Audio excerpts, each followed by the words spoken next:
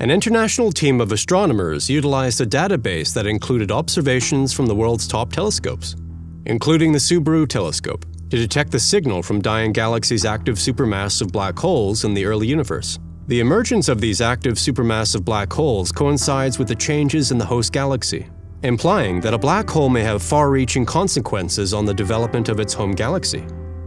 Astronomers examine faraway galaxies to put this notion to test. The light from an object 10 billion light-years away must have traveled for 10 billion years to reach Earth. As a result, the light we see now represents what the galaxy looked like when the light left it 10 billion years ago. Looking at faraway galaxies is therefore analogous to looking back in time. However, the intervening distance makes distant galaxies appear fainter, making research difficult. To overcome these challenges, a multinational team led by Kei Ito of Japan's Sokendai used the Cosmic Evolution Survey, COSMOS, to collect data from galaxies 9.5 to 12.5 billion light-years distant. COSMOS brings together data from world-class telescopes, such as the Atacama Large Millimeter Submillimeter Array, ALMA, and the Subaru telescope.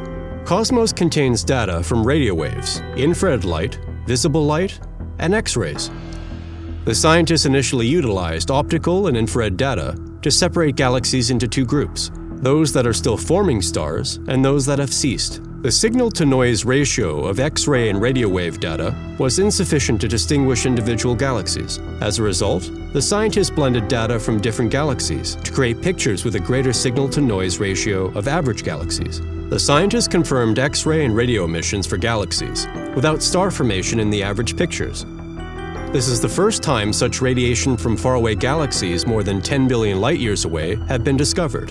Furthermore, the findings suggest that the X-ray and radio emissions are too powerful to be explained by the galaxy's stars alone, indicating the presence of an active supermassive black hole.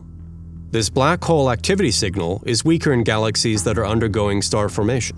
These observations, which were published in the Astrophysical Journal, reveal that a sudden stop in star formation in the early universe coincides with increasing supermassive black hole activity.